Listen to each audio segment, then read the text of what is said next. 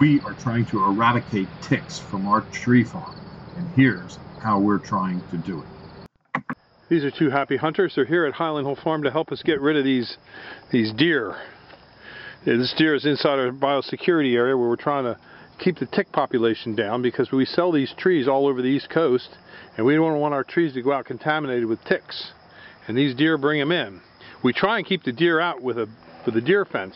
This is our deer fence. It's an eight foot high fence, but the deer sometimes manage to get in. There's so many deer in the area that they can find a way in.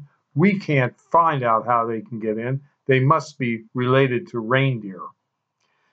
In other areas of our farm where we can't fence or don't need to fence, we use a four poster feeder to feed the deer and also treat them for the Lyme tick. This particular buck that was shot today had no ticks on it.